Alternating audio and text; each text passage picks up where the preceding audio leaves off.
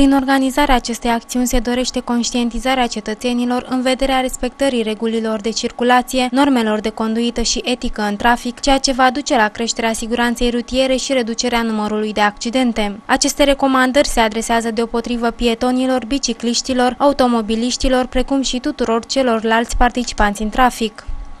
Da, documentele noastre sunt în ordine. V-am oprit pentru că astăzi se desfășoară o campanie preventivă de către Poliția Rutieră și Asociația Victimelor Accidentelor de Circulație în scopul diminuării implicării de participanți în în astfel de evenimente nedorite.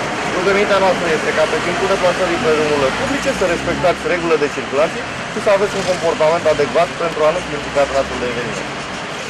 Vă mulțumim. De ce credeți că au loc atâtea accidente rutiere din România? Cât de folositoare credeți că este această campanie? Nu o considerați folositoare? Este o acțiune foarte bună și sperăm să dea rezultate. Am văzut că s-au împlinit 17, 17 zile fără exact, accidente. Exact. E, e, nu, e o, nu e o noutate, e o realizare.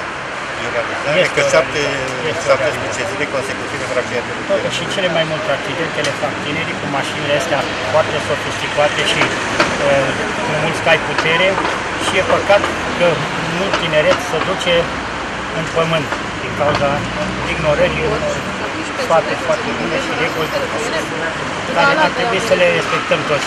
Legea să fie una pentru toți. Da. Toți participanții la eveniment au purtat astăzi panglici albe și de asemenea le-au fost atașate la oglinzile mașinilor oprite în trafic. Și la nivel internațional se încearcă promovarea acestei campanii. La această campanie au fost implicate și instituțiile publice, respectiv Consiliul Județean Gorj, Primăria Municipiului Târgu Jiu, Serviciul Poliției Rutiere Gorj, IPJ Gorj și Asociația de Tineret.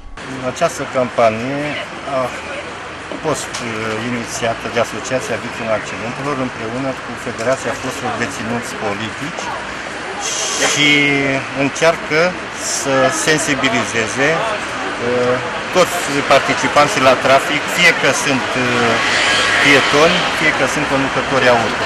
Acțiunea se desfășoară uh, în toată țara astăzi, începând cu ora 10, uh, în toate orașele importante ale țării în care noi avem filiale.